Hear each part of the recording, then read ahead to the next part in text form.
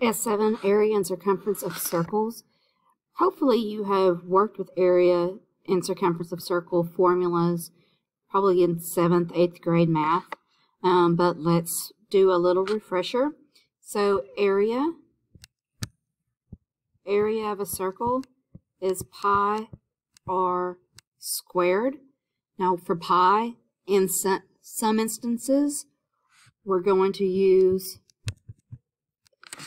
good, let me erase that, that's nasty. Pi equals 3.14. It's not just 3.14, it's a never-ending decimal. but universally, we just use the 3.14 sometimes. I'll explain that better in just a little bit. Now remember, area is how much room is used to be able to find the um, how much is covered within a circle or any kind of shape. But circumference is only, the word circumference is only used for a circular part, um, and it's the distance around, it's like the perimeter of a circle. Now for circumference, there are two formulas that you could use. They're both the same thing.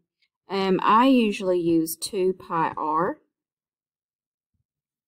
basically because it has the same stuff in area as it does for circumference. It's just we're doubling it instead of squaring it and everything.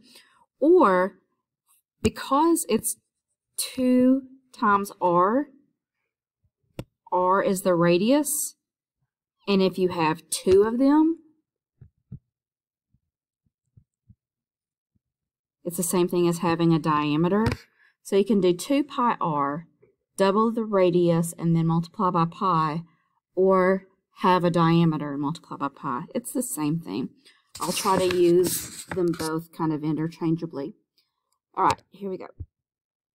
So on this, the radius of the circle is 5 what is the circumference. So because it gave me the radius, I'm going to use 2 pi r as my formula. So the circumference is 2 times pi times radius, and the radius is 5, and 2 times 5 is 10, so 10 pi. It says um, give the exact answer, so 10 pi is the exact answer.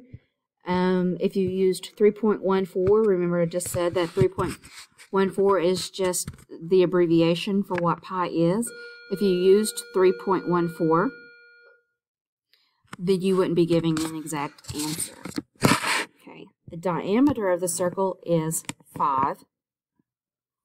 So what is the circumference? So this time it's asking for circumference and it gives you the diameter would be pi times 5. And we like to put the number in front of the pi symbol. So 5 pi would be your answer. Okay. The diameter is 16. What is the area?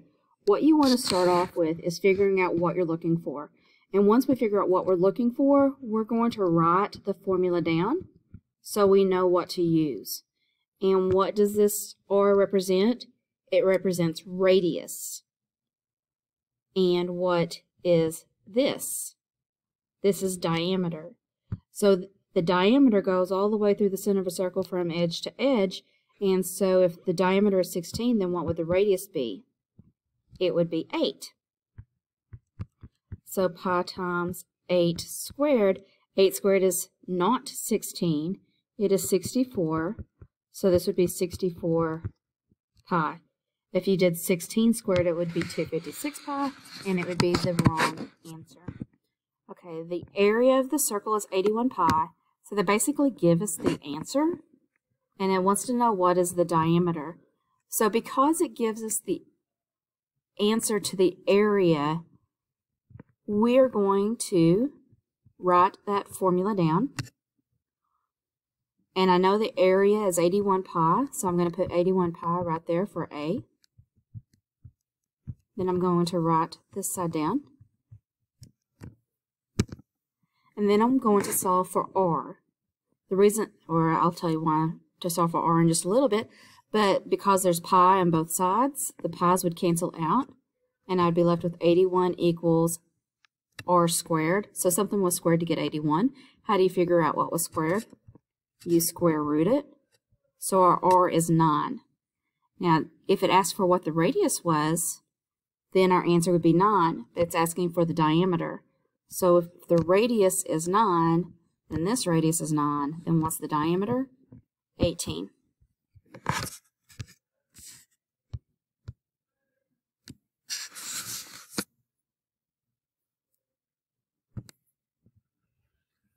Okay, this is one problem.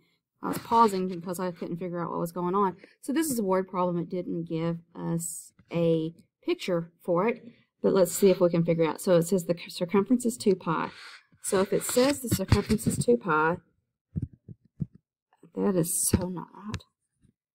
The circumference is pi times diameter, and the circumference is 2 pi, so I'm going to put that right there and I'm going to bring pi diameter down. Pi's will cancel out. So D is 2. What is 2? The diameter. What's it looking for? The radius. In the radius, you just take half of the diameter, so the radius is 1 centimeter.